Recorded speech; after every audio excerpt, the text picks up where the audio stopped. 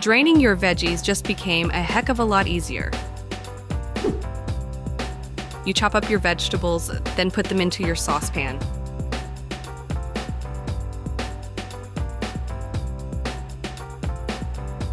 Well, check this out.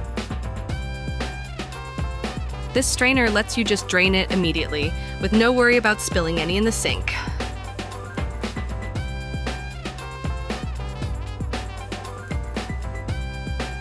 Nice and easy.